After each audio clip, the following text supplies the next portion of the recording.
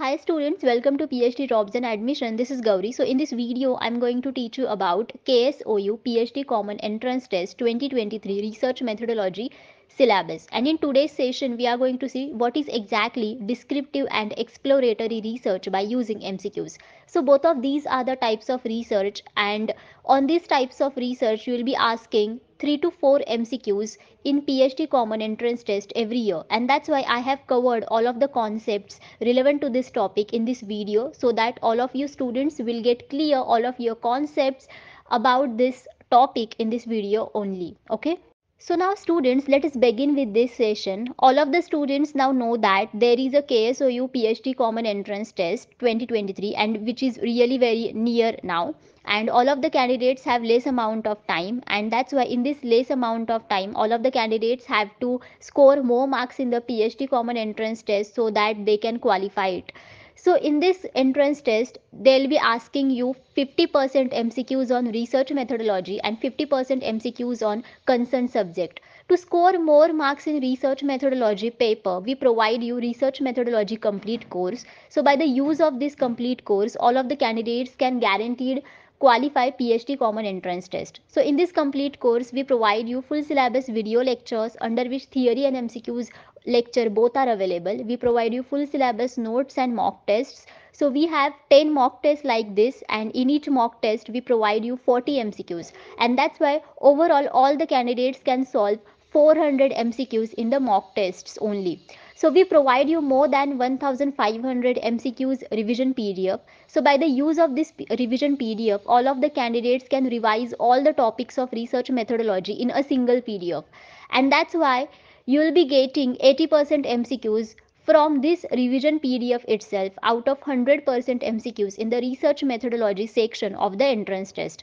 And the study material is available in both the languages that is Hindi and English. So students, if you want to buy this complete course, then all the candidates can either download the Global Online app from the Play Store. For that, I have given the link in the description box of this video or else the students can contact me through the WhatsApp numbers that I have shown on the screen. The course fees are only 699 and in these low fees, we provide you guaranteed selection that all the candidates can guaranteed qualify the PhD Common Entrance Test and all the candidates can guaranteed score more marks in research methodology paper. So this complete course is nothing but a research methodology revision package for all the candidates. Okay. First question is identify the sequence of following steps in mail surveys. So basically you have given here five steps of uh, mail surveys and we are going to be follow them or uh, write these steps in a sequentially manner okay? So what are basically the mail surveys? So in mail surveys survey is administered through mail. So basically we are going to ask the questions to our respondents through the mail okay? And that's why there are a lot of uh, procedures in that. The first step over here is select a sample. So you are going to select a sample then after that your second step should be constructing a questionnaire. Okay so you are going to construct a questionnaire. Okay? Then after that your third step should be preparing a cover letter. Preparing a cover letter. Now the cover letter is required to encourage the respondents or participants and to introduce the survey. And as well it should explain the purpose of survey and it should provide instructions for completing it and focus on importance of respondents participation. Okay? Then after that your fourth step should be mail the questionnaire. Okay? Mail the questionnaire to the participants. And your last step should be monitor the return rate of the mail. So it means that you are going to uh, follow up your response rate from the participants and the non-participants okay as well. So basically uh, you know you are going to provide more consent or you are going to provide more information to the non-participants so that they will participate in the survey and they will provide you the responses. So that students the correct answer for this question should be 4 E, A, C, B, D. Because here your E should be that is select a sample should be first step. A should be second step that is constructing a questionnaire. Third, prepare a cover letter should be your third step. B, mail the questionnaire should be your fourth step and monitor the return rate of mail should be your fifth step. Okay. Now next is which of the following is a longitudinal design. Okay. So basically students here we have given different uh, types of designs and from which we are going to identify from this which are the longitudinal designs. So whether it is panel study, whether it is cross sectional or trend or both 1 and 3 are longitudinal designs. So basically students longitudinal design is the type of descriptive method okay and uh, descriptive method means we are going to uh, provide the characteristics of a situation event or person or group of people okay so within the longitudinal design we are going to study single individual for a longer period of time okay? And that's why longitudinal design has again three types of designs. And the first one is panel study okay? Panel study. So panel study is the type of longitudinal design in which unit of analysis is observed at specific intervals over a long period of time now st second study is cohort okay? So within cohort study we collect information from group of people who share specific characteristics okay? And now the third study design is trend study design okay? So in which we focus on same population of people using opinion poll surveys to look at their attitudes over time. So basically we provide the polls okay? And from the polls we get the opinions from the participants at a specific amount of time or over a period of time from the same population okay? That is nothing but the trend study. And that's why your correct answer should be 4 because here panel study and trend study both are the types of longitudinal designs. And cross sectional study is again the another type of descriptive study design. So cross sectional study is exactly opposite to longitudinal design. So within the cross sectional design we study different population or different uh, variety of population at a specific unit amount of time not a longer period of time okay and that's why the correct answer over here is 4 okay so apart from this, we provide you KSOU PhD Common Entrance Test 2023 paper to study material. As all of we know that you will be asking 50% MCQs on concerned subject that is on paper 2 in PhD Common Entrance Test, right? So to qualify the paper 2, we provide you paper to study material under which we provide you full syllabus notes and MCQs. So in MCQ section, we provide you most expected MCQs and PYQs. By the use of them, all of the candidates can guaranteed score more marks in paper 2 and that's where they can qualify the KSOU PhD Common Entrance Test 2023. So the subjects that I have shown on the screen, on all of these subjects, we provide you paper to study material. So if candidates want study material for any other subject, they can contact me through the WhatsApp numbers or they can comment me. So the fees for paper 2 study material is only triple nine and in these low fees we provide guaranteed selection that guaranteed all of the candidates can qualify the PhD common entrance test by scoring more marks in paper 2. So to join paper 1 and paper 2 courses, candidates can contact me through the WhatsApp numbers that I, I have shown on this screen. Okay. Next is in descriptive research, the primary data can be obtained through. So in the descriptive research type, from which methods we can obtain the primary data. So basically students, primary data is the kind of data which is grabbed by first user only okay and this is the data which is there at the first time and uh, it is called as the primary data okay so we have the different options, observation, direct communication with respondents in one form or another, personal interview, all of the above. So basically students, there are lots of data collection methods in the descriptive research through which we can collect the primary data. So the first data collection method is observation. so basically students we use observation as a data collection method so that we can obtain the quantitative data okay now the second one is survey. Survey is another data collection method in which we can ask the questions to our participants and participants respond to us. The third one is case study. So within case study design or data collection method we detailed get information or we get in-depth information from the participants okay now the fourth data collection method is personal interview. Personal interview is nothing but the face-to-face -face interview method in which we ask the same questions or to the range of participants and we get the answers from those participants okay? Now fifth one is direct communication okay? Direct communication. So basically students direct communication is a speech that conveys clear messages or that clearly directs actions. Okay? So students from these five data collection methods now we can understand the correct answer to this question should be 4 that is all of the above.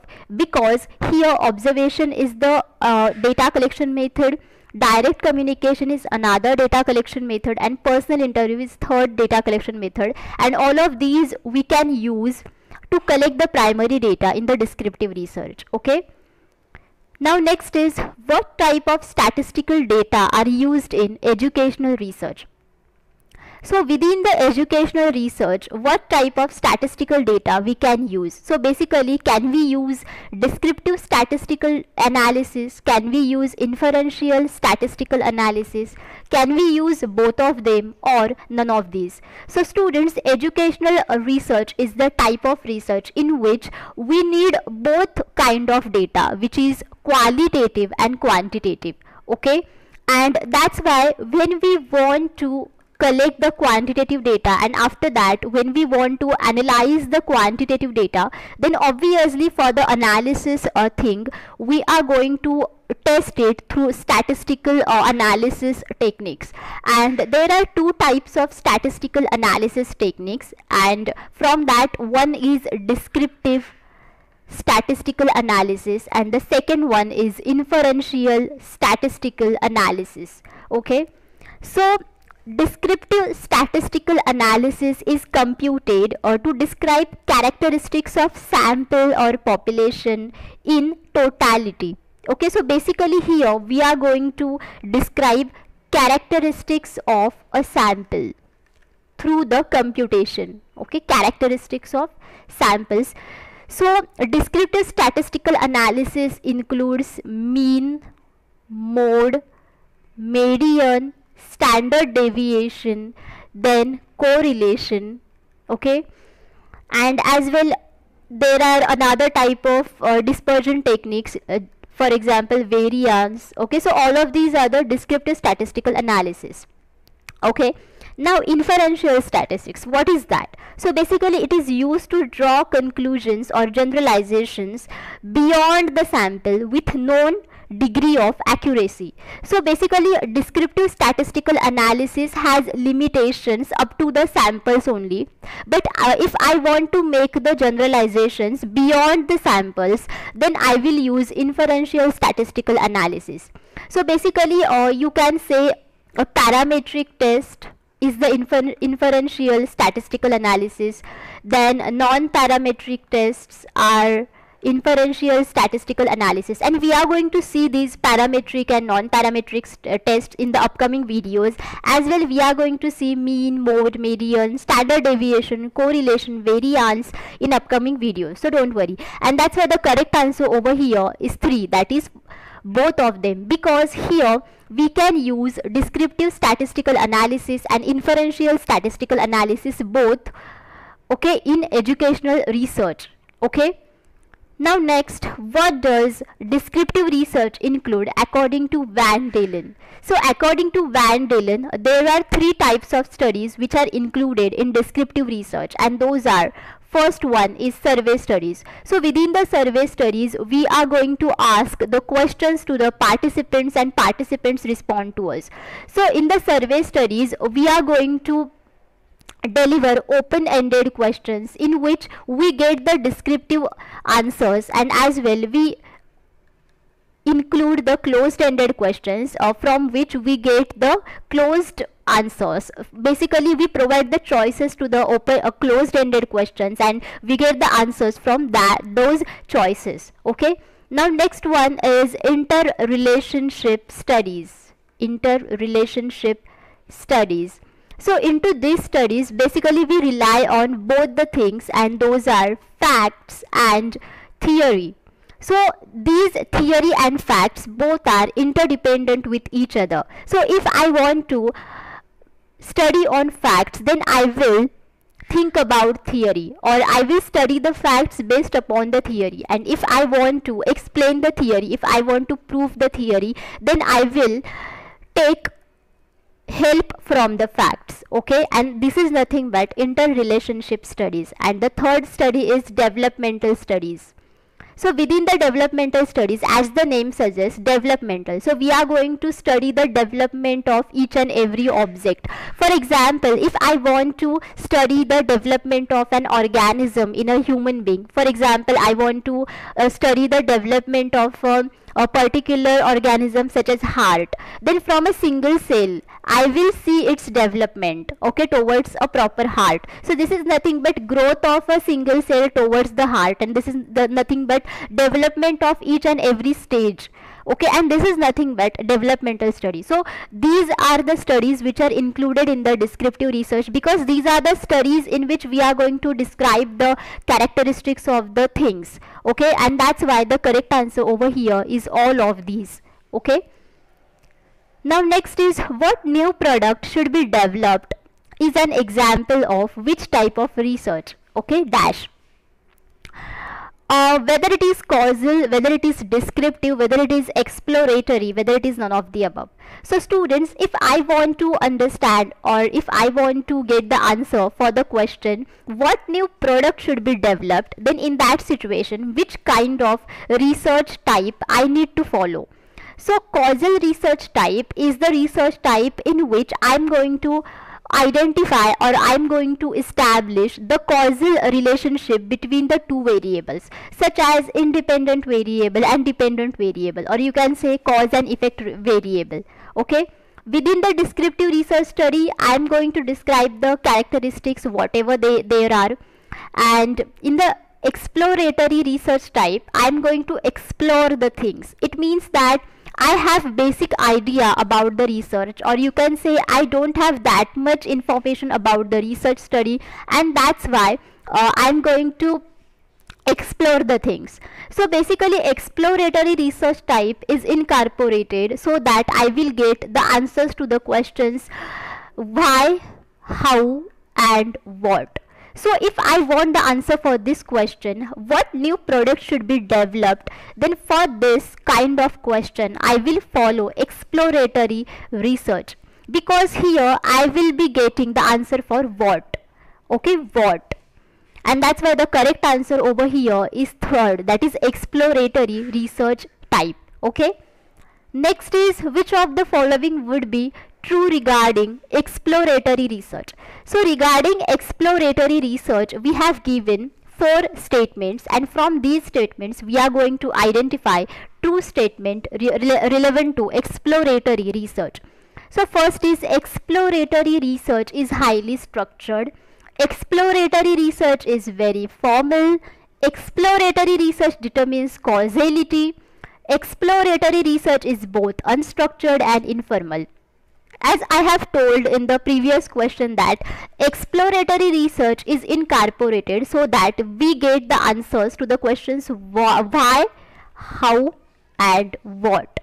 So basically whenever I have a very uh, basic information about the overall research topic then I will follow the exploratory research so that uh, I will get uh, information about further research and I will understand how I am going to deal with further research.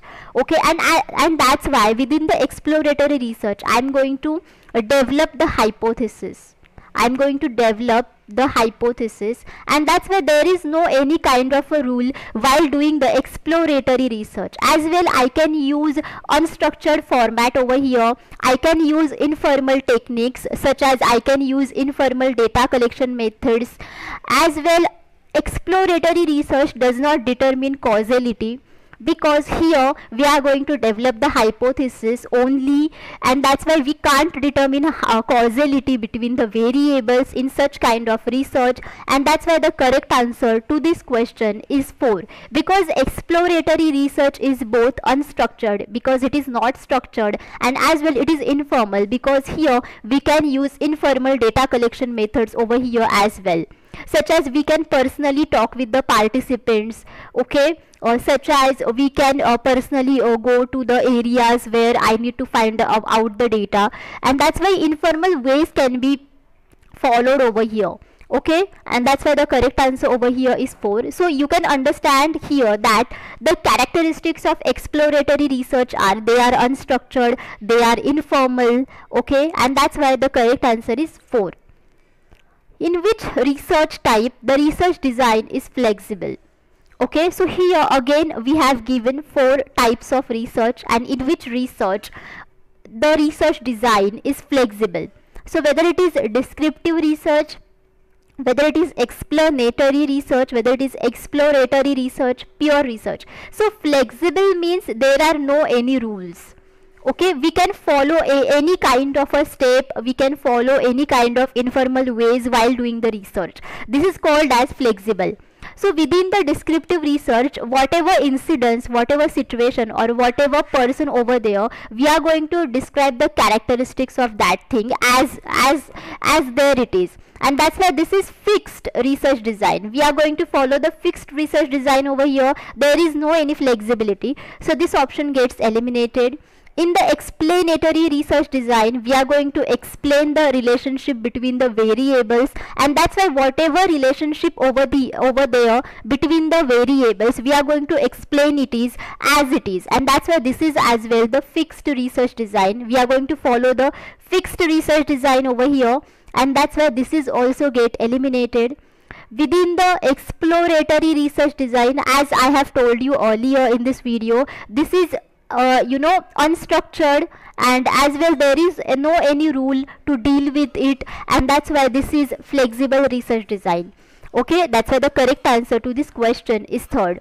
And pure research or fundamental research is the research in which we are going to expand our knowledge we are going to formulate a principle or theory or law and that's why this is as well the fixed research design so this option gets eliminated and that's why the correct answer is 3 that is exploratory research.